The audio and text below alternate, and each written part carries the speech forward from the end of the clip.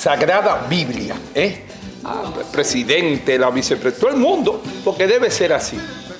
Es, debe, es, un libro sagrado, la Biblia, y nosotros pues estamos contentos por este día y sobre todo nuestra Biblia. ¿eh? Conoce, conoceréis la verdad y la verdad os hará libre.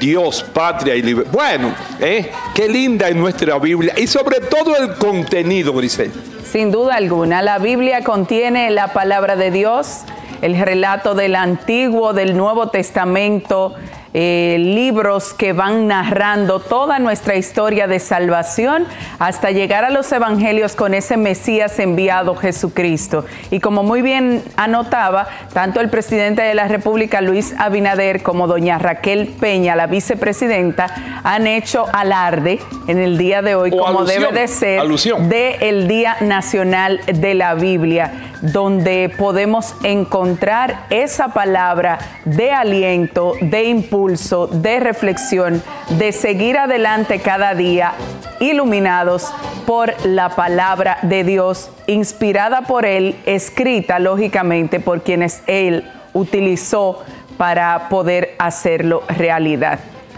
Ese versículo, que usted sí. cita es de Juan, de Juan 8, versículo 32. Y conoceréis la verdad y la verdad os hará libre. lindo, Y qué este lindo. país es tan arraigado a la fe que nuestra bandera, nuestro escudo específicamente, lleva una Biblia abierta en su Ay, centro sí, ay, sí. con ese versículo escrito. Entonces, eh, ¿cómo dejar los dominicanos de lado la fe que nos identifica Ay, y sí. que desde nuestros padres de la patria fue concebido? Pues así mismo arriba el escudo dice Dios, patria y libertad. Nosotros felices al celebrar eh, este día hoy, Día Nacional de la Sagrada Biblia. Y lo compartimos con ustedes y esperamos que ustedes también en sus casas pues lean este versículo y otros de la Biblia y la tomen en cuenta a diario. Es muy importante. Debe ser la mano derecha, la guía de cualquier ciudadano. Hay un salmo hermoso que es el 121 que reza, ¿de dónde levanto los ojos a los montes? ¿De dónde me vendrá el auxilio?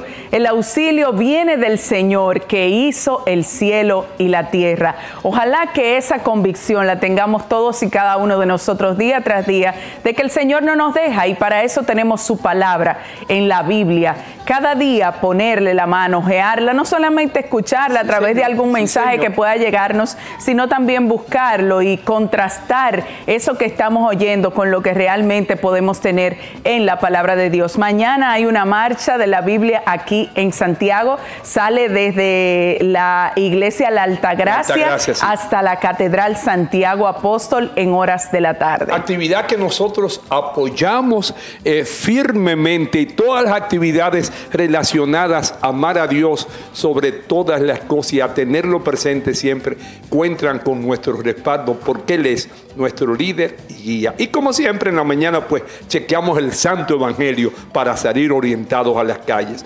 También pues